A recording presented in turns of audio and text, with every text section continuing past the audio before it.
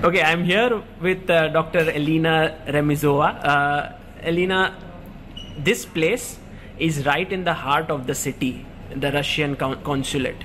How did you decide that this place should be dedicated to chess? And we can see over here, it's so beautifully made up. Uh, hello, everybody. Uh, originally, maybe you don't know, we have several uh, Russian houses through India, at uh, I guess five, and in each Russian house we have a chess club. Each chess club has the name of a Russian player or Soviet player. It was a traditionally very long, but due to COVID, uh, here in Mumbai, our chess uh, club was closed for several times, for several years. Uh, recently, uh, several months ago, we opened, reopened this Russian Chess Academy. Uh, and uh, we very happy to have today here such a big, huge event. Uh, it's around 150 children, yes, uh, take place. I'm very happy to see all these children here.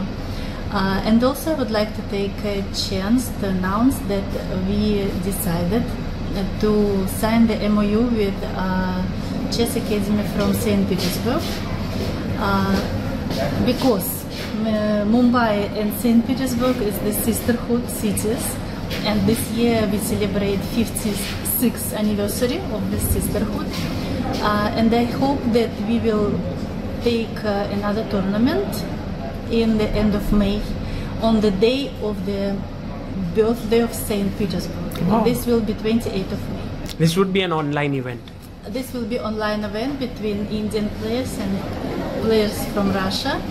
Uh, it will help to improve skills, I believe, to children. Uh, and uh, anyway, this will be established of relations first online, and after I hope uh, that uh, people from St. Petersburg will come here, children, children from Mumbai will come to St. Petersburg and play face to face. Well, well, you spoke about how there are different uh, chess academies in India named after great champions of Russia. And uh, in fact, there's a Tal Academy, uh, Tal, uh, which was in Chennai. Yes. And that was instrumental in Vishwanathan Anand, uh, uh, who is now the five time world champion, him growing up from there. There's this beautiful academy in Kolkata. Uh, called the Alekhine Chess Club. Yes. So, so what is the, the vision behind it? Is it to promote the chess here, to find new talents in, in India? What would you say? Originally, we believe in Russia that uh, India is the motherland of chess. Of course, um, has the great opportunity to establish the cultural and sport connection in this field. And this game is very popular in Russia too, and in Soviet Union it was. So this is the one field uh, where we hope we can be connected.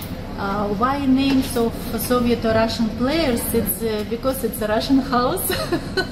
maybe. But uh, unfortunately, I'm not a chess player. Mm. But Mr. Zaveri said that uh, we have our Russian um, chess school and the way and style of playing. Uh, it's a little bit different from others. And uh, I believe these places help to promote this play or this style of playing for children. Well, fantastic. I mean, this coming up in Mumbai is a great uh, boon for the players here because they get a chance to play in tournaments, they get a chance to train, improve. So big thank you to you uh, for for making this happen. I am very happy that this happened, and uh, I think that we will collaborate and further and further and to reach uh, great goals. Thank you. Brilliant. Thank you so much.